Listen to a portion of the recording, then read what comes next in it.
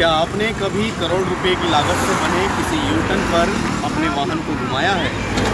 अगर ऐसा नहीं किया है तो ये सौभाग्य आपको नोएडा में आकर प्राप्त हो जाएगा। इसे देखने के बाद हम भी एक अचंभे में हैं कि कैसे एक करोड़ का एक यूटर्न बन सकता है। मेरा भी मन है कि मैं उस यूटर्न पे अपनी गाड़ी ले ऐसा तो कुछ नहीं है लेकिन लगता है हमें दस पंद्रह की लागत होगी दस पंद्रह लाख की लागत होगी।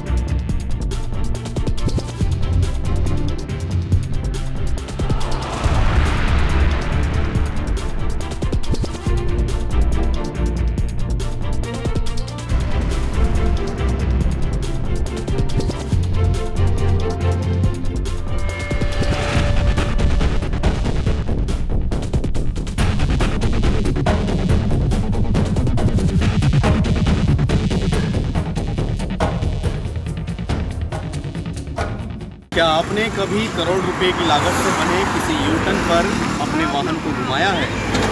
अगर ऐसा नहीं किया है तो ये सौभाग्य आपको नोएडा में आकर प्राप्त हो जाएगा।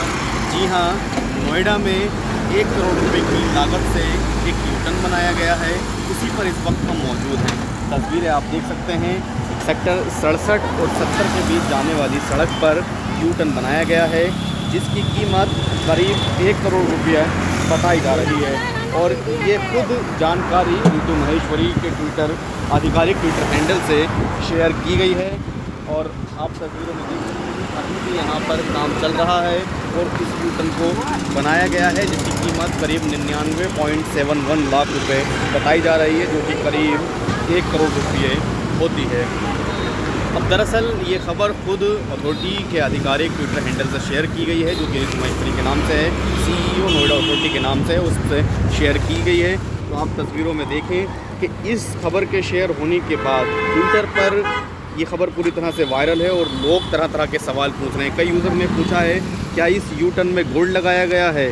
कई सवाल पूछ रहे हैं कि इसमें ऐसा क्या किया गया है, जो इसमें एक करोड़ रुपया खर्च आया है। आपको बता दें ये जो सड़क है, ये पूरी सेक्टर सड़सठ और सत्तर के बीच है और यहाँ पर यूटर्न का निर्माण किया गया है। अभी भी काम चल रहा है, इस पर रंग रोगन का काम अभी भी इस पर इस वक्त भी चल रहा है। और इसको बनाने में जो खर्च बताया जा रहा है, वो निन्यानवे पॉइंट सेवन वन लाख रुपये यानी कि जो कि करीब एक करोड़ रुपये जिसकी कीमत होती है। प्राधिकरण के इस कारनामा कहें या इस काम पर कहें, लोग तरह तरह के तंज भी कस रहे हैं और सवाल भी पूछ रहे हैं कि प्राधिकरण ऐसे यूटर्न में क्या गोल्ड लगा रहा है जिनकी कीमत इतनी ज़्यादा बढ़ा दी गई है जिनका खर्चा इतना ज़्यादा बढ़ा है। तो अब अगर आप इतने महँगे यूटर्न पर अगर आप आपने अपने वाहन को नहीं घुमाया है तो आप इस वाले यूटर्न पर आकर अपने वाहन को ज़रूर घुमा सकते हैं। Haider Ali seven news Noida. Noida के अंदर एक करोड़ रुपए का यूटर्न बनाया प्राधिकरण ने। इस बारे में क्या कुछ कहना है आपका? देखिए, हमें भी टीवी और अखबारों के माध्यम से पता चला कि कोई नोएडा के सेक्टर सड़सठ के पास, सेक्टर सत्तर के आसपास कहीं यूटर्न बनाया एक करोड़ का। लेकिन इसे देखने के बाद हम भी एक अचंभे में हैं कि कैसे एक करोड़ का एक यूटर्न बन सकता है। मेरा भी मन है कि मैं उस यूटर्न पर अपनी गाड़ी ले जाऊँ, कम से कम घुमा के तो देखूँ। लेकिन सोचना चाहिए कि किस तरह से जनता के खून पसीने की कमाई को कैसे बहाया जा रहा है। इसकी तो जाँच होनी चाहिए। प्रदेश स्तर से जाँच होनी चाहिए और पता चलना चाहिए कि कैसे एक करोड़ रुपए में कैसे एक यूटर्न बनता है। तो इसकी जाँच होनी चाहिए। एक करोड़ रुपए की लागत से एक यूटर्न बना है। आपको लगता है इतनी लागत आई होगी उसमें? हाँ, हमने भी सोशल मीडिया पर देखा है।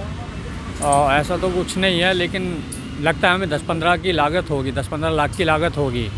प्राधिकरण को देखना चाहिए कि इस लागत में कितना है कि सड़सठ का जो यू टर्न है, हमें देखने में नहीं लगता है। हम भी गाड़ी वगैरह जाते हैं, देखते हैं तो हमें लगता नहीं है ऐसा कुछ है। पर दस पंद्रह की लागत है।